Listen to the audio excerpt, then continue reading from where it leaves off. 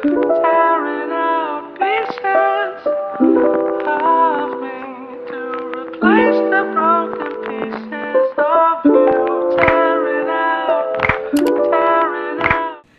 wealthy family, and welcome to today's video. Thank you so much for coming and sharing some time with me. I love and appreciate you all.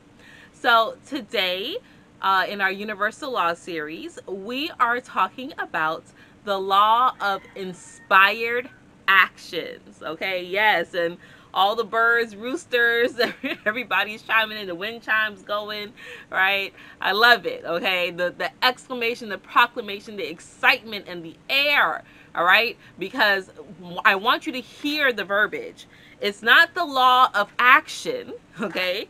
It's the law of inspired action.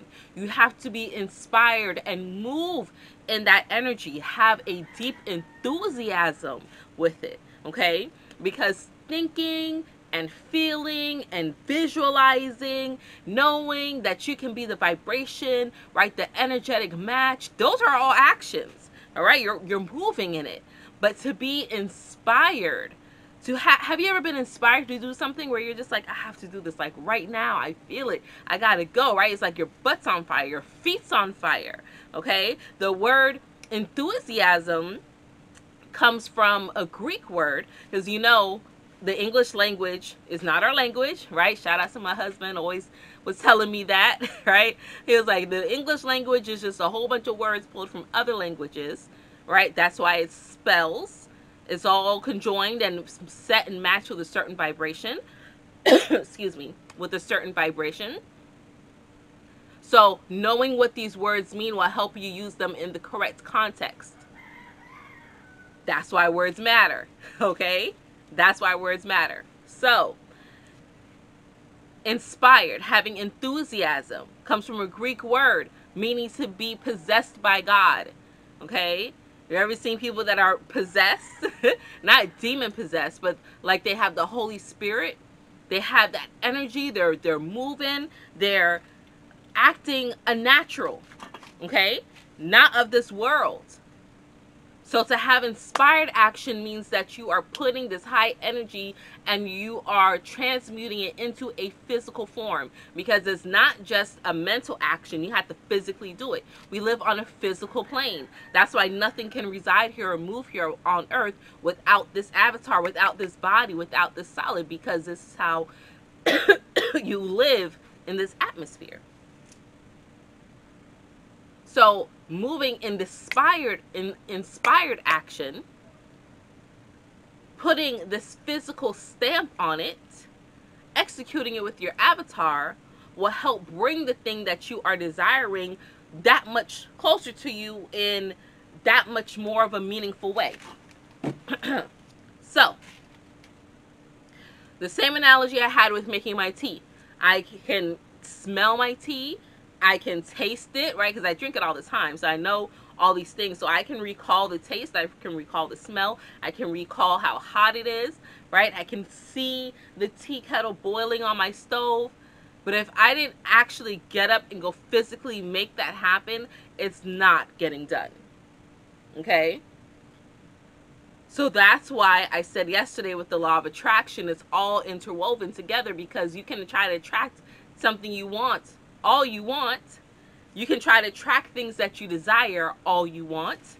But unless you physically go put yourself into the situation or into the environment in which those things can execute, more than likely you will not see it come to fruition.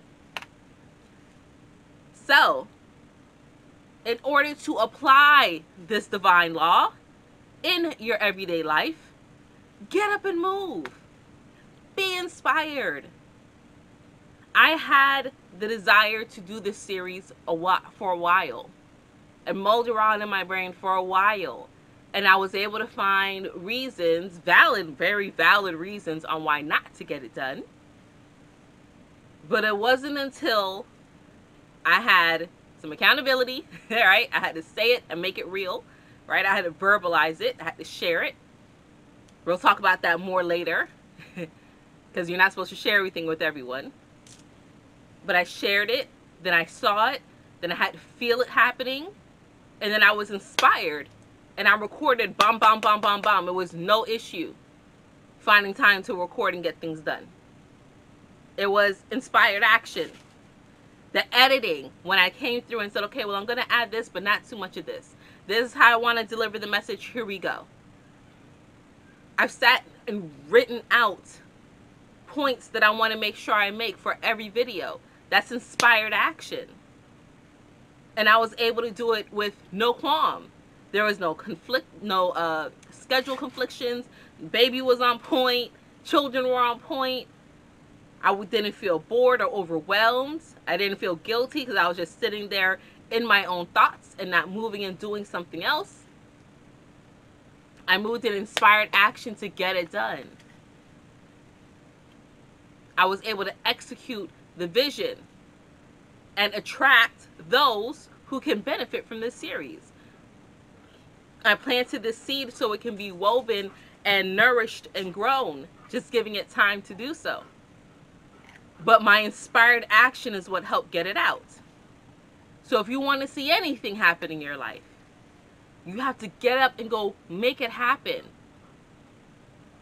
with a blind belief and faith that you have done enough to have it come to fruition in a way that would be the most beneficial to you.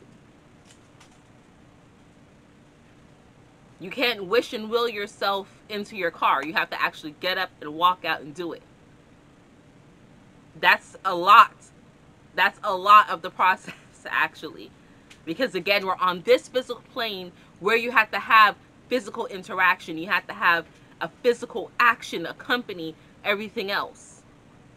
If you really want to put your stamp and see it here in this reality. Before my husband built up our backyard, before he dug this pit, I'm about, I don't know how far down he dug, maybe three feet or four feet down. He saw it in his mind's eye. But it wasn't going to dig itself. He had to get down and put the action in. And what it left us with is a beautiful fire pit. Oh my goodness, I cannot wait until our seasons really change here in Florida. And I can have those autumn breezes and light my fire and sit back here and chill. I'm really looking forward to those actions. but that's how you get things done in the in this physical plane. You have to put physical action to those thoughts and feelings and desires that you have. That's why everything is connected. Okay? Okay. I think that's that's as simple as I can get it, right? I don't need to go too dark, too far deep because we want to get this information in, we want to digest it and apply it and start to put it into action in our lives right now at the speed of instruction. That's how you get inspired. You hear the instruction and you move. And I love that. I love moving at the speed of instruction. Okay, wealthy family, that's all that I have for you today. I will see you all tomorrow for our next installment. And until we connect again, stay alert, stay aware, and live in love.